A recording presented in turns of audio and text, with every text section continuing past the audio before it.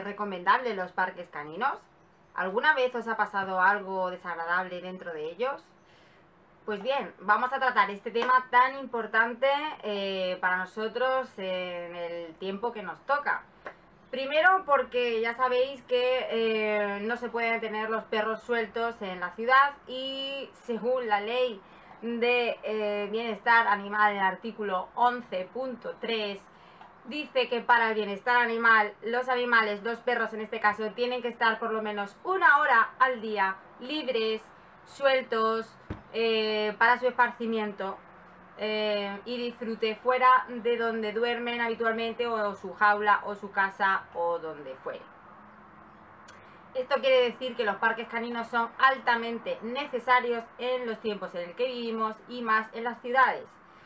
Por lo tanto, y digo más, el artículo 15 se refiere a las zonas de esparcimiento de esta misma ley y dice, y leo textualmente, que las administraciones públicas deberán habilitar jardines, y parques o espacios idóneos debidamente señalizados tanto para el paseo como el esparcimiento de los animales. Lo más importante, que cuidarán de estos espacios eh, que estén en perfectas condiciones de seguridad e higiene. Esto quiere decir que el ayuntamiento tendría que estar cuidando y velando por la seguridad e higiene de los parques caninos. Dios mío, ahora pensaréis, pues mi parque canino lo tienen olvidado. Sí, efectivamente. Ahora vamos a pasar a hablar de eso. En este vídeo quiero dar, un, arrojar un poco de, de luz de la realidad en España de los parques caninos. Pros y contras de los parques caninos. ¿Qué tenemos que tener en cuenta cuando acudimos a estos parques? Y para empezar a entender el tema un poquito, me gustaría diferenciar qué es un pipicam y qué es un parque canino. Veamos, un pipicán que normalmente se confunden o se utilizan para lo mismo. Estos dos términos, un pipicán es un sitio que normalmente se lleva al perro a hacer pipí y caquita. Eh, sus necesidades fisiológicas. Mm, bien, pues no tienen en cuenta el esparcimiento del animal. Por lo tanto, siempre se han hecho un pipicán, espacio reducido, pestoso y mal diseñado. Sí, repito, mal diseñado. Los señores que eh, hacen este tipo de parques no tienen ni idea de cómo funciona un perro. Bien. El, pipicán al final se resume es un palito donde al final ningún perro hace pipí en el palito y todo está lleno de caca porque los ciudadanos incívicos no recogen o no recogemos las cacas de nuestros perros.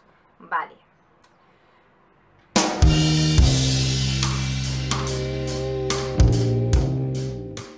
un pipicán no es un parque canino. ¿Qué es un parque canino? Bien, un parque canino es un sitio dedicado al esparcimiento, desahogo de nuestros perros.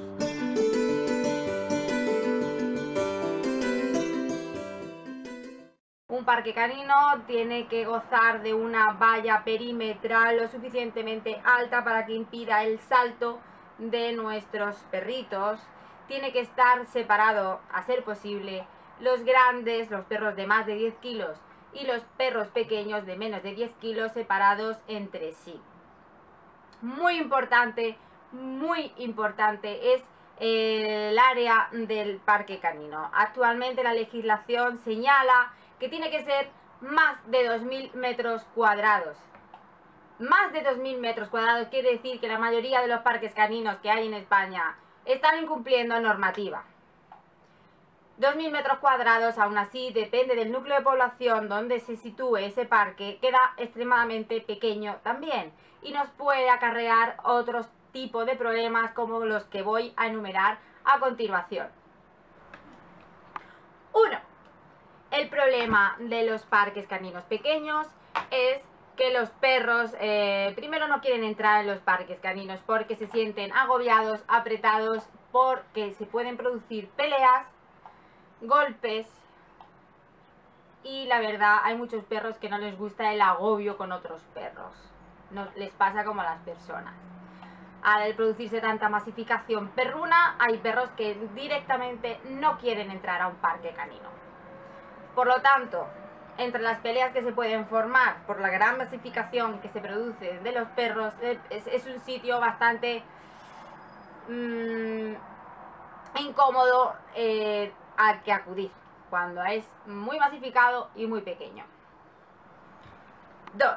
Normalmente el parque canino eh, como contra está desprovisto de todas las cosas que lo caracterizarían como parque canino. ¿Qué quiere decir? Sombra, quiere decir papeleras, fuente de agua, bancos, un mantenimiento mínimo o esa doble puerta de entrada y de salida que tienen que tener todos los parques por seguridad ante la escapada de un perro. No es lo mismo que se abra una puerta y se escape el perro que el perro tenga que superar dos puertas para salir. Destacaría en este tema el asunto de la sombra. Normalmente en Andalucía eh, a las 3 de la tarde es imprescindible el tema de la sombra. Un árbol no cuesta tanto y nos ayuda a todos, por favor. O un techado tampoco cuesta tanto y nos ayudaría a todos. Los perros eh, se pueden morir de un golpe de calor y sus dueños también no podemos morir de un golpe de calor. Otro punto interesante sería el punto 3, que sería falta, falta de mantenimiento de estos parques. Mirad, hoyos enormes desmesurados donde una persona puede caer, romperse un tobillo o un perro fracturarse una mano, una pata. Eh, también hay que decir que la cantidad de hoyos que hay y la profundidad de hoyos es absolutamente culpa de los dueños de los perros que dejan, porque yo no dejo, que dejan que, hagan eh, hoyos gigantes porque están con su móvil viendo el Facebook en vez de estar vigilando a su perro. O están de cotilleo con los amigos en vez de vigilar a su perro. El tema como los charcos, los charcos cuando llueve se forman charcos y al final se convierten en super barrizales donde los perros caen, rebotan y ellos se lo pasan muy bien, pero luego no reconocemos a nuestros perros porque están llenos de barro y luego hay que llevárselos al piso. Señores de mantenimiento, eh, la gravilla existe. Se echa gravilla, arena o un drenaje que sería lo mejor, pero a nivel baratuno vale la gravilla.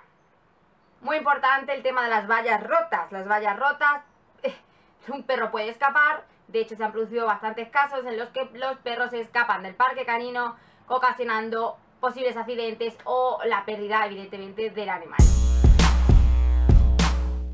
A la falta de mantenimiento habría también que decir sobre la recogida de excrementos de los animales. Bien, eso es cuestión del usuario el recoger las cacas de los perros. Efectivamente, ¿cuántas veces hemos entrado a un parque canino? Nos encontramos que está lleno de cacas. Por favor, eso es falta de civismo absoluto de los usuarios del parque. Punto 4. El incivismo del usuario. Creo que todo lo que voy a decir en el vídeo se resume en el incivismo y la inconsciencia y poca sabiduría de los usuarios de los parques caninos. Y ahora justifico. Tanto las cacas como los hoyos, como traer comida al parque para tu perro, como chucherías y tal, como jugar con la pelota con tu perro, o traer perras en celo a los parques caninos, ocasionan multitud de problemas desagradables que nos podemos encontrar como usuarios del parque. En todos los parques viene una serie de normativa a la que tienes que hacer caso, como este caso de perras en celo. Mira,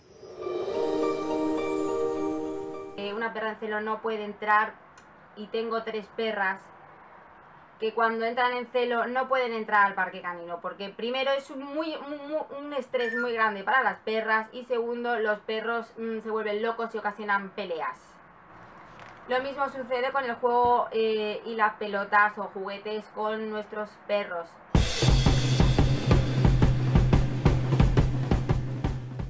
Por favor, la posesividad de los perros sobre su juguete existe y el perro no quiere compartir su juguete, por lo que también ocasiona otras peleas. Tenemos que ser cívicos y si queremos jugar con la pelota, señores, hay que proponer otras medidas.